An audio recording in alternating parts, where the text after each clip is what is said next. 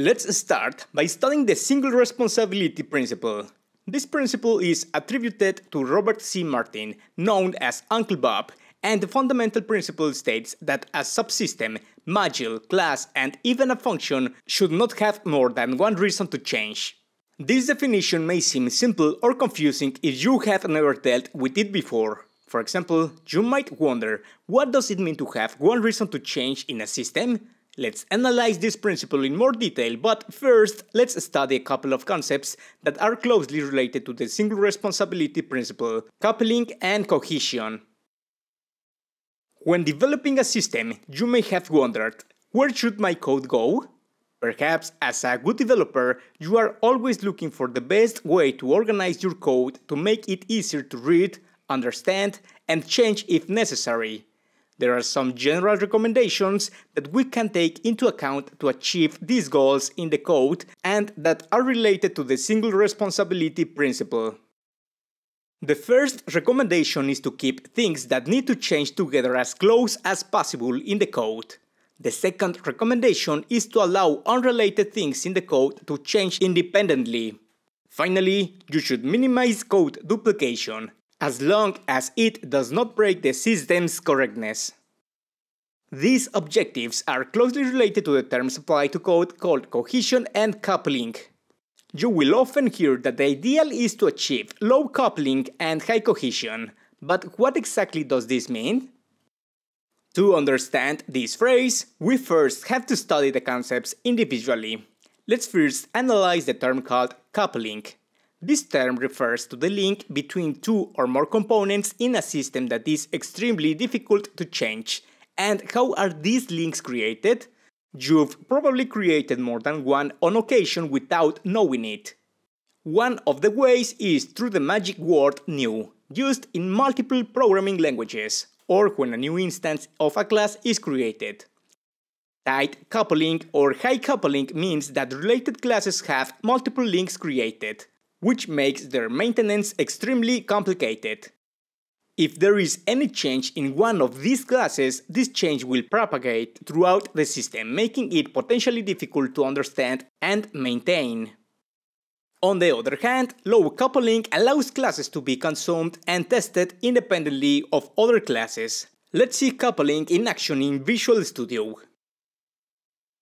In Visual Studio, I have created a console project. The project contains only one class called program.cs, which allows us to handle the console to carry out printing of some words, receive user input, etc. In this specific case, I'm going to copy and paste a couple of classes that I previously created that will allow us to demonstrate this part of coupling. The first class is called person. This class contains only one property called name. We have a second class called printer, which is very simple, it just contains a method called print, which receives a parameter of type person and carries out the printing through console.writeLine. I'm going to quickly comment on this second class called printer, and I'm going to show you a tool that is part of Visual Studio that we can use to find out how coupling is as part of our code. If we look at the top, we have as part of the menu a tool called Analyze. We have an option called Calculate Code Metrics. We can calculate the metrics for our solution or for the project we currently have selected. I'm going to click on the option to perform the calculation for the current project.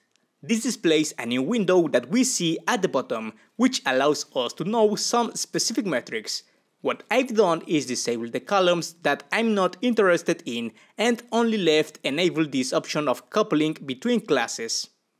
Notice that as part of the coupling or as part of this specific window, we are shown the different components, different classes that are part of the system. We can see in a hierarchical way each of the classes that belong to this specific assembly and what is the coupling between each of them. For example, the person class, which we see on the screen, contains zero coupling, a zero value in the section that says class coupling. We have our class called program, which does contain a value of 1 as part of the coupling, meaning we have some kind of use of an external reference as part of this program class. If we review the program class, we see that we only have a call through console.writeLine. You might wonder why we have here a number that says 1 as part of the coupling, if we have not carried out the instantiation of a new class. A value of 1 appears because we are explicitly using this class called console and this method called writeLine.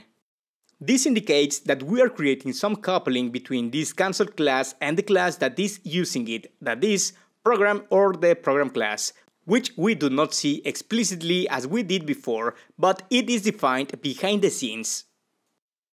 If we uncomment the code of this class called printer, notice what will happen. I'm going to press this button that will allow us to recalculate the metrics for the solution, and our printer class now appears here. This printer reference indicates that there is a value of 2 for the number of references we are using as part of this class. The first reference is given through this method, through the parameters of this method, that is, we are using here a person type parameter, and we are also using the console class again to carry out the printing of this person type object. We are using two different types of data as part of this printer class, and it is this number that appears here. It is a very simple example, but it allows us to see what happens when we are using external classes we see how the coupling is being created. We may not even have realized that those links, that internal coupling is being created, and it makes maintenance a bit difficult if this system grows much more. It is a very simple tool to use that will allow you to obtain coupling very quickly.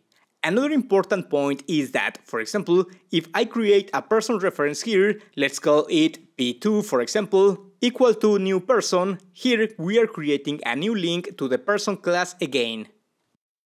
However, when I click on this button to calculate the metrics again, this value 2 does not change.